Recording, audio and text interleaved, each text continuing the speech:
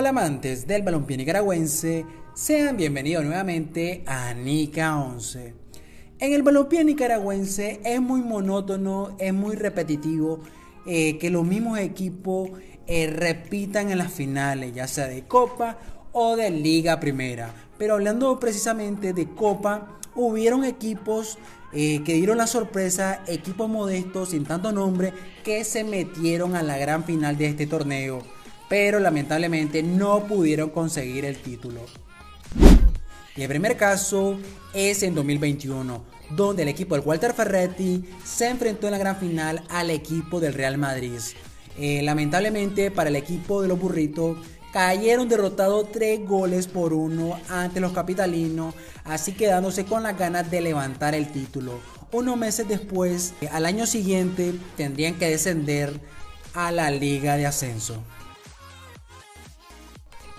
Para el 2023, la gran sorpresa en la gran final fue el Deportivo Cotal, que trataría de vencer a Real Estelí en el Estadio Independencia. Finalmente, esto no sucedió debido a que el marcador fue 3 goles por 0 a favor del Tren del Norte. El equipo de Ocotal se comió una goleada en la gran final y no pudieron meter las manos.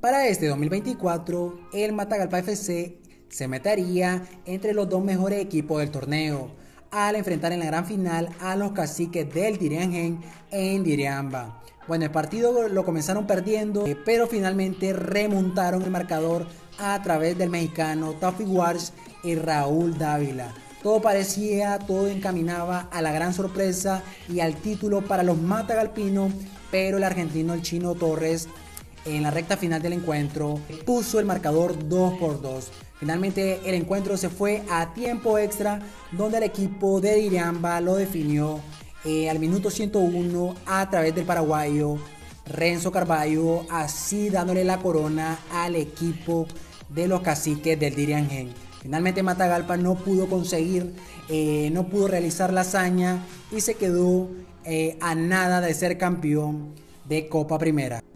Sin más nada que decir, te invito a que me regales un hermoso like y suscríbete al canal de Nica 11.